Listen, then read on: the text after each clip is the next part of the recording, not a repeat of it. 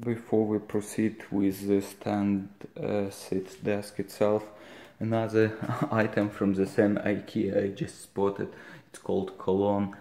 Uh, yeah, no, nothing too too big weird. So um, it's basically floor uh, protector. So it's kind of decent size, especially having the uh, uh, chairs on wheels and seeing this floor. It could be damage it and hardly imagine any rock here especially because of the, uh, wheels.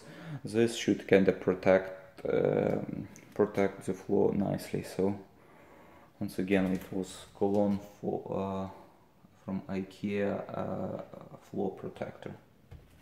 It's like 16.99 yeah thanks. Floor protector from IKEA again. So this is good piece of good size. So how to kinda install it? It's easy. Basically you put it down so there's uh, you have a quick instruction. So it has two uh, uh, surface. Uh, one is really shine shine and and one on top is kind of rubber.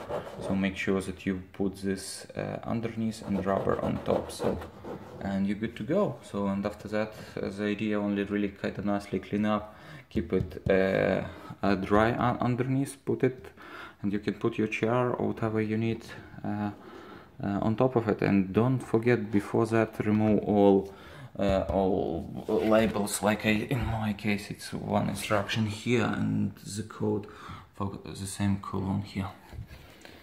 So yeah. Once again it was floor protector from IKEA uh, called Kolon thank you